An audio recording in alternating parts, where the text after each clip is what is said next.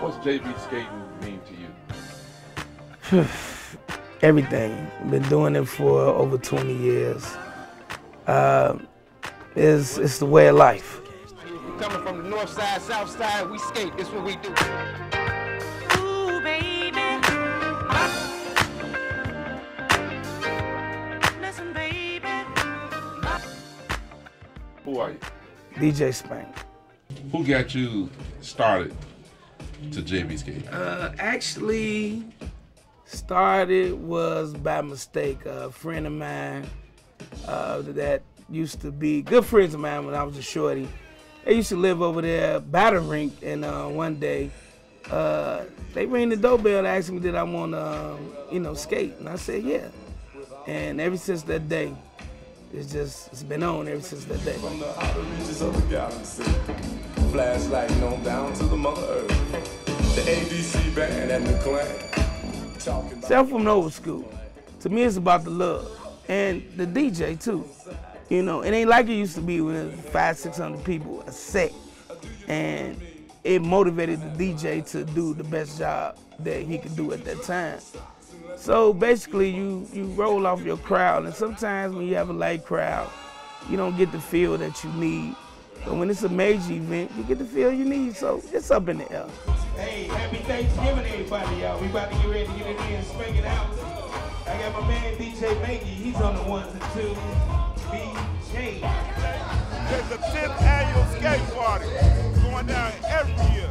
You know, a lot of people know I started at the rink when I was a shorty. A lot of people watching me grow up, maybe, uh, hell, 9, 10, 11 years old. Uh, so I originated from the rink, but uh, as time, you know, passed, I didn't see growth there. And, you know, giving big shout out to Nate and Carmen Simpson. I mean, they, from 87th Street, I mean, they paved the way for me to be who I am now. I give them that because they let me spread my wings and do what I wanted to do. But I wanted a little bit more. And I always worked at Glenwood along with the rink. So when I came out to Glenwood, uh, it was just a different vibe. And a lot of people understand what I'm saying when you come to Glenwood. And, um, you know, I pursued it. You know, I said, well, if I'm to do this, I got to do it the right way. And I told my boss one day, I said, you know what? I got to be more than a DJ because I had so many thoughts and ideas. And I just felt that at the rink, I couldn't grow there. And Glenwood mean the world to me. I came here and now look, you know, manager, general manager, still DJing, and made the right decision. I made a good decision. It worked out for me, but so, you know, it's all good, man. I can't complain.